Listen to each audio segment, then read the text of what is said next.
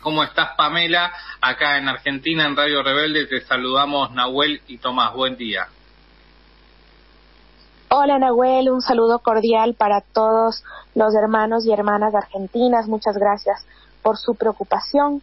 La situación del Ecuador es crítica. El presidente de la República, Guillermo Lazo, disolvió la Asamblea Nacional de manera ilegal, de manera inconstitucional, según él, para evitar un plan macabro que lo traiga de regreso a Rafael Correa. Esa no es ninguna causal constitucional, ese es un invento de él. Sin embargo, dentro del contexto, el presidente Lazo estaba siendo parte de un juicio político, de una moción de censura que iba a ser destituido por los escándalos de corrupción de su cuñado y de su círculo cercano al Banco de Guayaquil, del cual él es dueño, que pasaron a las empresas públicas a realizar actos de corrupción.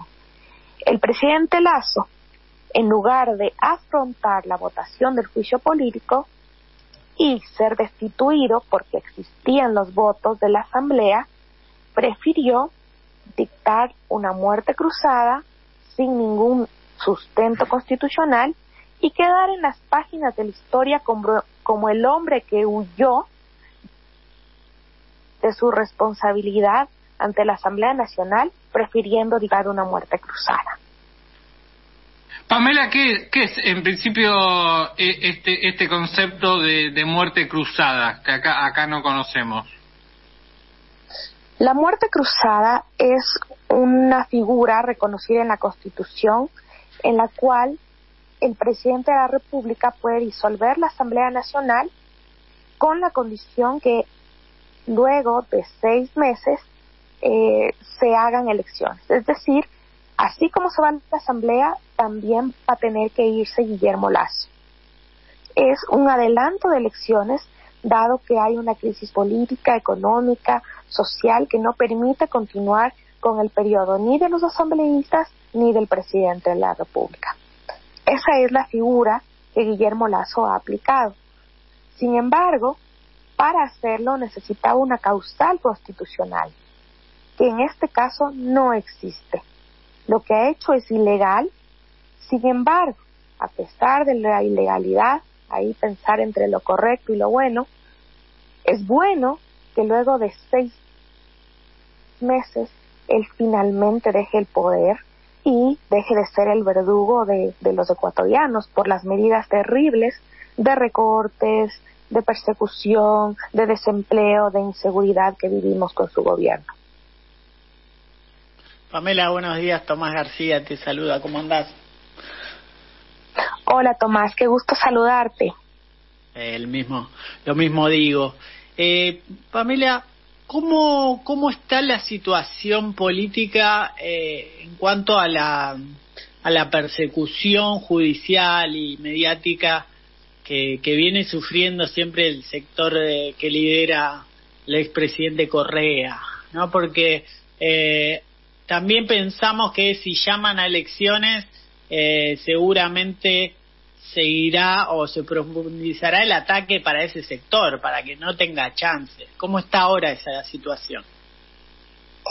Bueno, la persecución política, el lawfare, ha sido una medida que se ha aplicado en toda Latinoamérica y Ecuador no es la excepción.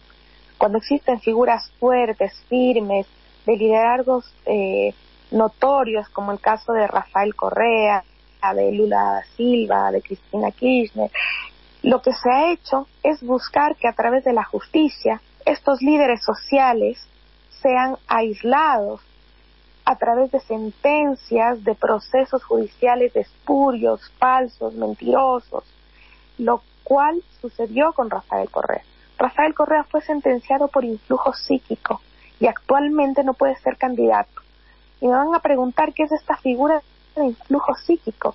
Es la peor vergüenza en en temas jurídicos, mediante el cual dicen que Rafael Correa tenía un influjo psíquico, es decir, que le salían ondas del cerebro para obligar a la gente a ser corrupta. ¿Ustedes pueden creer eso? Es una vergüenza. Esa figura no existe dentro de la legislación. pero fue sentenciado por aquello. Y eso ha permitido que se encuentre fuera del país y que no pueda regresar a ser candidato. Ese es la, el único objetivo que tiene la actual derecha.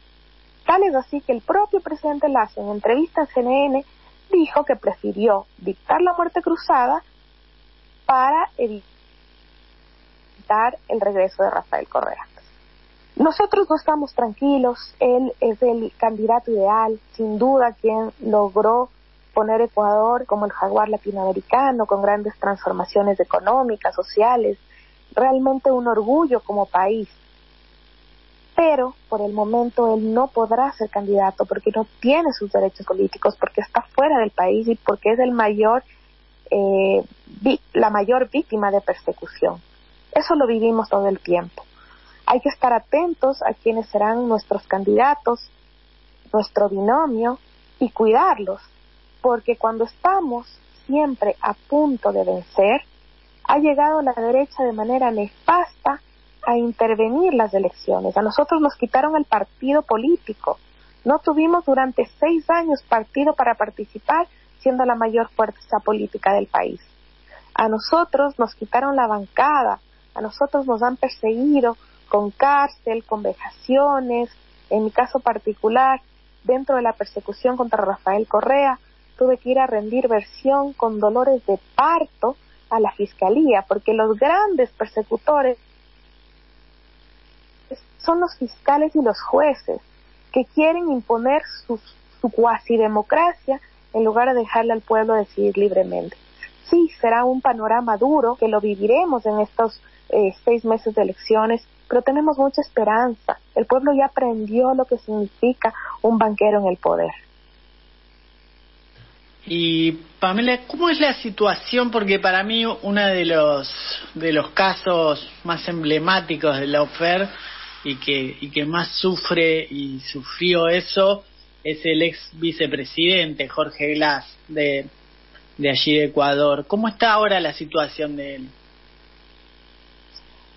Bueno, el ex vicepresidente Jorge Glass fue víctima de una persecución brutal que tarde o temprano la tendrán que analizar cortes internacionales.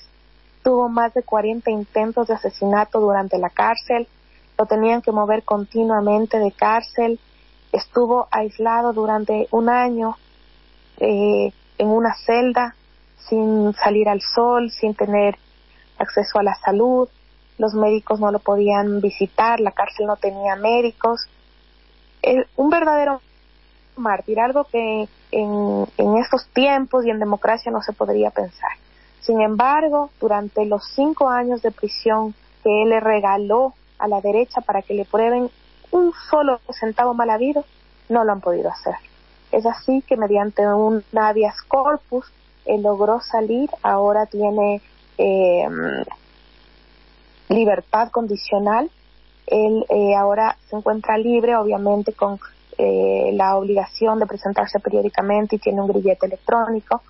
Sin embargo, la libertad que consiguió Jorge Glass fue porque fue imposible durante ya cinco años demostrar el escándalo de corrupción en el cual a él lo querían implicar. No había ruta de dinero mal habido, no le encontraron un centavo, lo único que encontraron es dignidad y fortaleza en un hombre que no iba a declarar en contra de la revolución ciudadana a cambio de una libertad, porque claramente él era inocente y nuestro proyecto político también ha sido inocente. Entonces ellos trataban que con torturas el ex eh, vicepresidente declare algo que sea falso. Pero esto es una tónica que lo vivimos constantemente. Empezó con un cuaderno que se llama el cuaderno de, Hello Kitty, donde supuestamente se anotaba toda la trama de corrupción, muy similar a un cuaderno que se encontró en Argentina. Es que ya ni siquiera tienen la, capacidad para inventar cosas nuevas.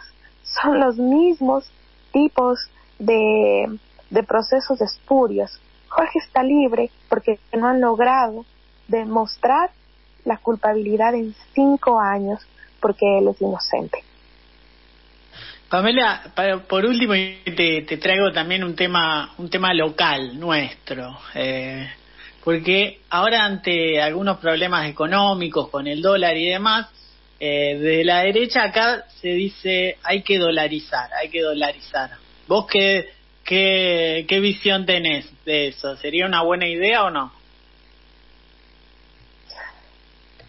Bueno, una democracia dolarizada, un país dolarizado es un golpe a la soberanía, ¿no? Tener moneda propia siempre permite al país eh, mantener su soberanía económica. Sin embargo, en Ecuador la dolarización fue nefasta en su comienzo.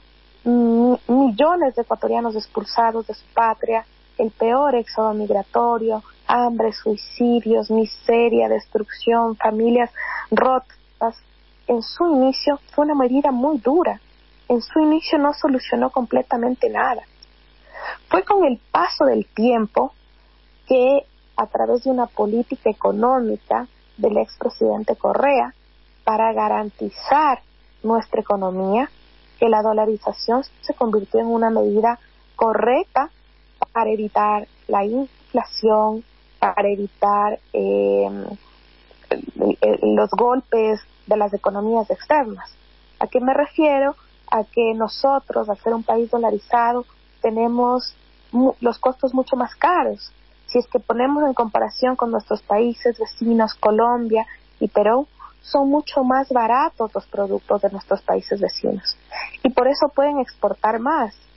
El, el camarón ecuatoriano termina siendo más caro que el camarón eh, peruano por el hecho de que nosotros estamos dolarizados y por eso necesitábamos medidas de proteccionismo adicionales como las salvaguardas que las implementó Rafael Correa para proteger nuestra producción nacional y mayores incentivos económicos para evitar que eh, la ciudadanía sienta la afectación de crisis externas. Nuestra línea siempre ha sido el ser humano sobre el capital y tuvimos que tomar varias medidas para evitar que, que salgamos de la dolarización y que la dolarización se convierta en lo que fue al inicio, el peor dolor del pueblo ecuatoriano. Entonces, eh, esa respuesta es compleja porque hay una realidad indudable. Cuando nos dolarizamos, vivimos la peor pesadilla de la historia económica de nuestro país. Mucho sufrimiento, mucho dolor, mucha pobreza y mucho hambre. Sin embargo, luego de años de dolarización, con un gobierno progresista, con un, gobierno humanista, logramos sostener la dolarización y hacer de la dolarización una forma de estabilidad económica, por lo cual no saldríamos de la dolarización. El, el expresidente Correa, nuestros candidatos siempre han dicho, para nosotros es impensable salir de la dolarización en estos momentos. Sin embargo, entrar a una dolarización sí necesita un análisis muy profundo porque es doloroso. Pamela Aguirre, te agradecemos mucho estos minutos acá para Radio Rebelde de Argentina. Les agradezco a ustedes, mucha fuerza para Argentina. Se vienen días duros, pero también de mucha esperanza para Argentina, para Ecuador, para Latinoamérica.